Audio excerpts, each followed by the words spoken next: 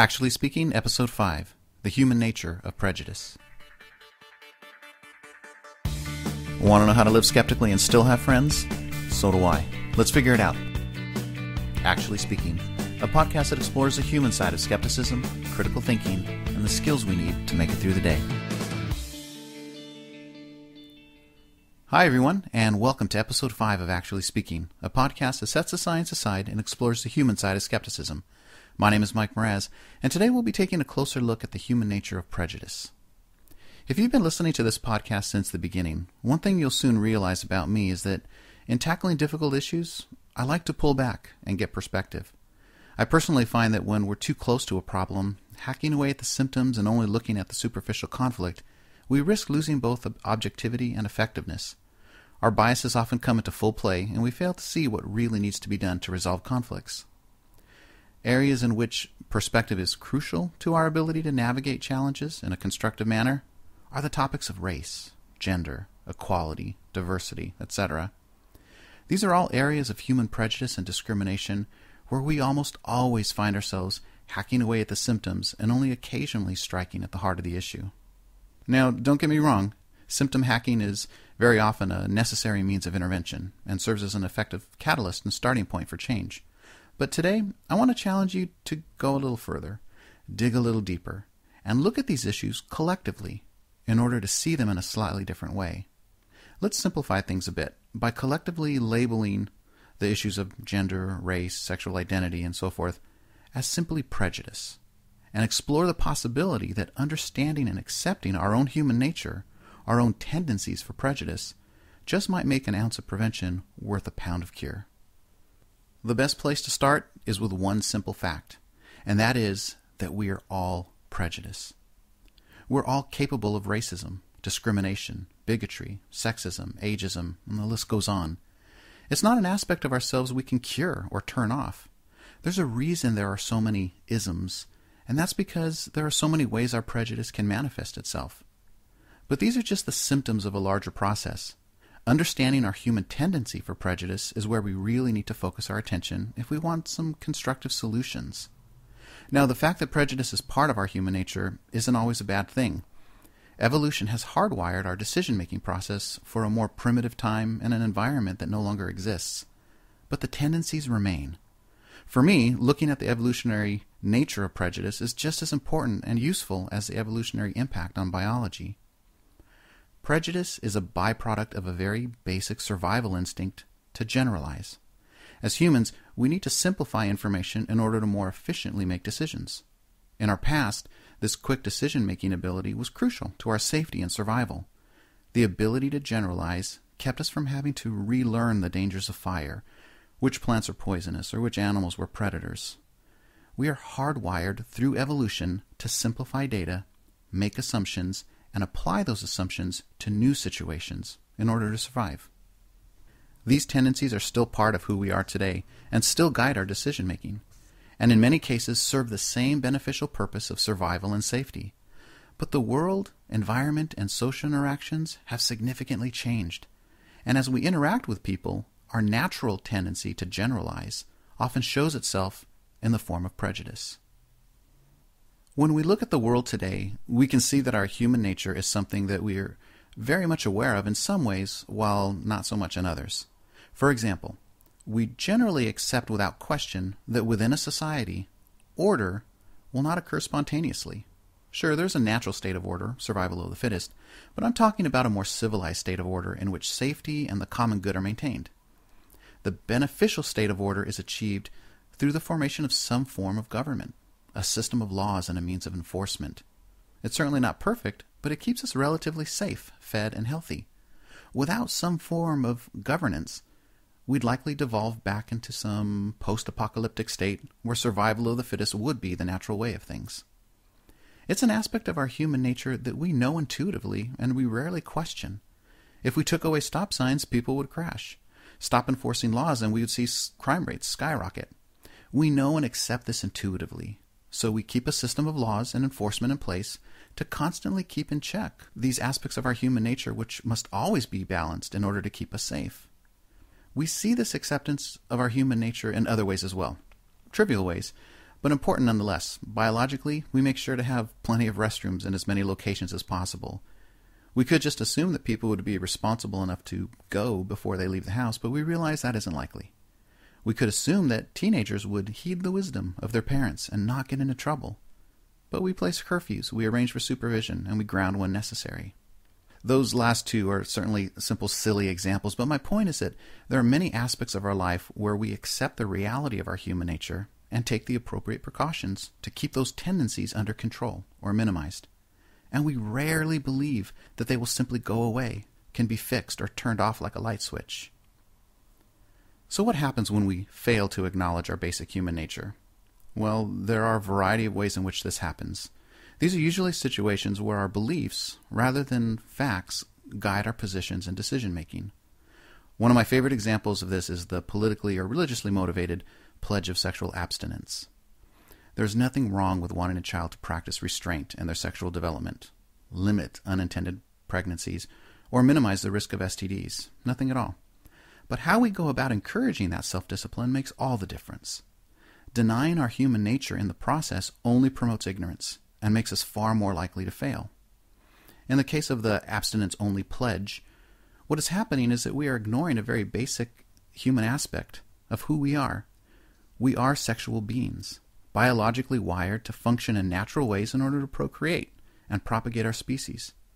Now, there may be aspects of this that are socially awkward and uncomfortable, but that doesn't change the human nature we all share, and denying that human nature only promotes ignorance.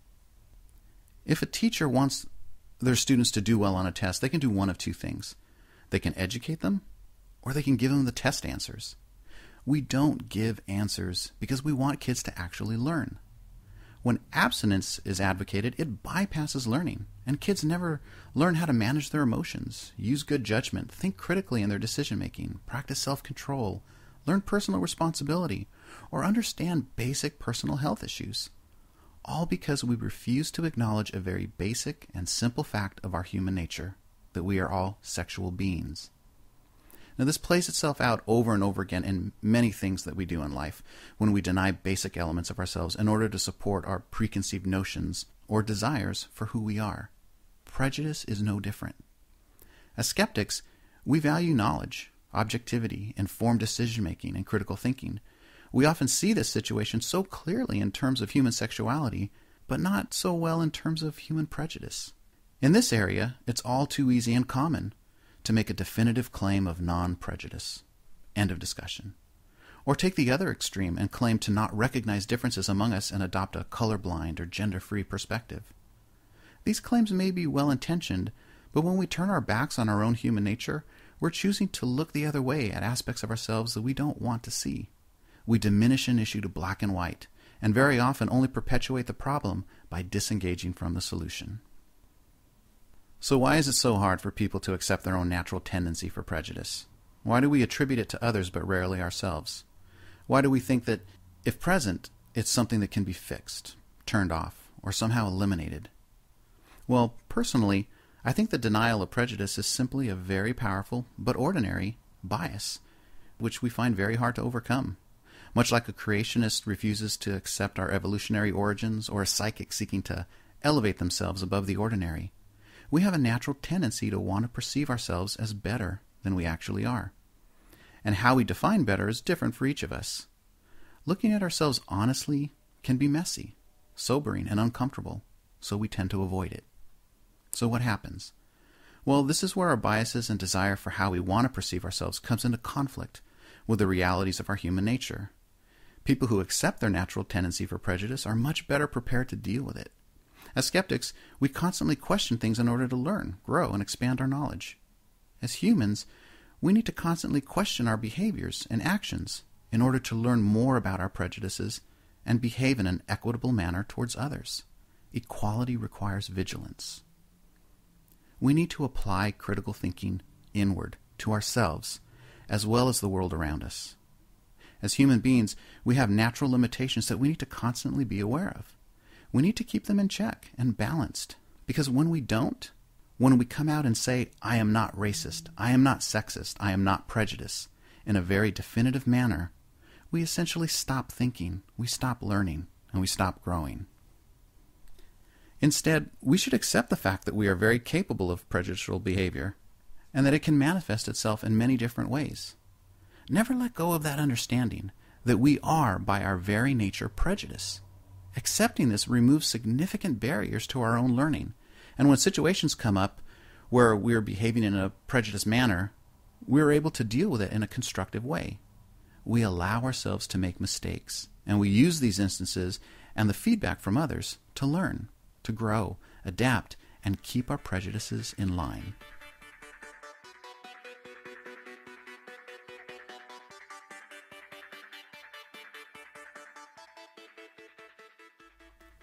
The skeptic community, like any other, is simply a microcosm of the larger world we live in. It suffers from the same challenges that any community will struggle with in terms of its diversity. Prejudice will show itself in many ways, and there will always be those who accept it and those who try to deny it. This is normal and to be expected. However, the issue of prejudice within the skeptic community is an interesting one for me because it's an example of an area where the playing field between skeptics and non skeptics is leveled significantly. We can all get caught in the same traps, and very often do. And, in my opinion, the issue of prejudice is tied very closely to critical thinking. As skeptics, we pride ourselves on our ability to contain our biases in favor of objective evaluation of information. But prejudice is one area where our biases can often reveal themselves to be stronger than our ability for reason. We become caught up in the very behaviors we associate with non skeptics, letting beliefs, perceptions, and desires of how we want to see ourselves get in the way of facts and the reality of who we are. How we deal with prejudice is a sobering reminder of how powerful our own human nature is within our lives, whether we are conscious of it or not, and regardless of our level of education. Very often, when issues of prejudice come about, we try to deny it. We believe ourselves to be above it. We say, I didn't make a racial remark or this practice isn't discriminating, or this isn't my responsibility, or you're being too sensitive over a non issue. Well, prejudice, bigotry, and discrimination do have their subjective elements. This isn't always just about facts. But the flaw in the thinking is that when we close off communication and deny the issue, we only serve to perpetuate the problem. We stop learning.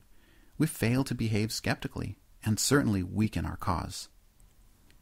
When something offensive presents itself in, say, a presentation, a blog post, or conversation, and it's brought to our attention, how do we respond? Do we assume an infallible position and claim the offense is unfounded? Do we accuse others of being overly sensitive and disassociate ourselves from any responsibility? How is that being open to our own human nature? How is that an example of objective evaluation of information? How does that promote growth, learning, and change? How does that advance the goals of skepticism? It doesn't. It simply reinforces our desired self image by creating a reality that supports that bias. And what about claims of a lack of representation of certain minority groups and diversity among leadership and membership within a community? Do we adopt an I got mine attitude and ignore the issue? Do we accuse others of wanting a free ride, a cheat, or an end run around a process that has served others perfectly well? Do we naively assume that an infallibility of leadership will result in an infallible community or organizational structure? How does this promote a positive community image, inclusiveness, and community growth? It doesn't. It's divisive, exclusive, and breaks down the bonds of community which so many have worked so hard to create. As skeptics, we should intuitively see things the other way around, and most of the time, fortunately, we do. But as a community, we're certainly just as capable of making mistakes. Issues of discrimination or, or lack of diversity are often viewed as insults, attacks, and criticisms. It's understandable to see it this way, but in most cases, the feedback originates actually from a place of concern for the community. Largely, these situations arise when underrepresented groups want to be more involved with the community. They want to learn, they want to grow, be more active, offer leadership, and contribute new skills and talents. They want to expand the reach and impact of the community by adding new elements, new perspectives, or new topics that are not being addressed. Through their involvement, they offer greater outreach, greater impact, and greater relevance to the membership and to the public. Isn't this exactly what we want as a community? Isn't this exactly what we want from the public? Of course it is, and we should welcome it. Yet, when these underrepresented groups raise issues of their path being blocked, they're often dismissed and ignored, and are told that's not my problem, or that it's your imagination. Or if it's of a more personal nature, we hear, I'm not sexist, I'm not racist, I'm not responsible, or no one helped me, so go figure it out yourself. We often deny the fact that as a community we are perfectly capable of doing these things. But we need to remember that it is in our best interest to take these barriers that people are experiencing, regardless of group, and remove them. We're not doing the work for the group or individual. We're not bypassing personal achievement and responsibility when we remove barriers. Yet we often feel that removing barriers is somehow a cheat or end run to a status or level of involvement that wasn't earned. Of course, this is assuming that everyone travels the same path, and we don't. Different barriers are encountered by different groups. We all have a common destination, but the road we travel can be vastly different. Pick any spot on a map and ask people from, say, a thousand mile radius to meet you there. Will everyone arrive at the same time? Of course not because the reality is that the terrain is different depending on where you start. Some have mountains to navigate, others deserts, an ocean, swamp, traffic, you get the idea. Each terrain presents its own set of challenges, and those challenges have nothing to do with the individuals doing the traveling. They simply exist. Every outreach effort and organizational evaluation needs to be an all terrain vehicle for its members and its recruits. When portions of our community point out barriers and obstacles in their path, which are preventing their progress, they're not asking for an end run to the top. They're not asking for a cheat. And they're not necessarily attacking or blaming. In all my years dealing with the issues of diversity, I have yet to find a group asking for a handout for something undeserved or that wasn't earned. These groups and individuals are more than capable of achieving the levels of status, involvement, and leadership they want, all on their own. They don't need our help for that. What they do need is for those people who are able to assist in removing the barriers blocking their path, or at the very least acknowledging and accommodating the rough terrain they must travel to reach that desired destination. It is our responsibility as skeptics to help remove barriers for others which are within our power to remove, nothing more. And then we sit back and enjoy the benefits of more people joining the ranks of the skeptic community with a diversity of knowledge, experiences, skills, and talents which benefit us all. An awareness of human nature isn't going to eliminate our problems and differences, just as an awareness of germ theory doesn't eliminate disease or illness. But knowledge and acceptance of our own prejudices and human nature gives us a powerful preventative tool in our arsenal to minimize discrimination and promote diversity. And when discrimination does occur, whether in our personal lives, communities, or organizations, we can deal with it in a much healthier and constructive manner. For most people, the bulk of the anger and frustration experienced due to prejudice doesn't come from the act or offense itself. It comes from the response. So whether or not we agree, it's still in our best interest to respond in a constructive, respectful, and civil manner. If you have questions, comments, or would like to share your own tips and ideas on living skeptically, send them to actuallyspeaking at gmail.com. You can also follow me on Twitter at twitter.com slash factually. Thanks for listening.